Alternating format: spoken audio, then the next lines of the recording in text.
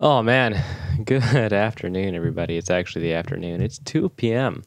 I'm playing video games. Uh, ladies and gentlemen, welcome back to another Argo One Takes video. You might have noticed, dude, it's been a long time. I know.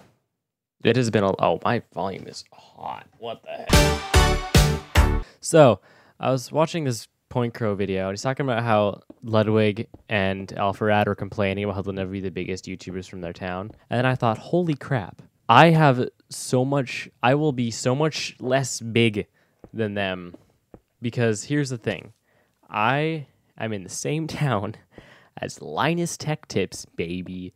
Let's go. Isn't that hype? Because, like, you know, 15 million subscribers on the one channel and like millions on other channels.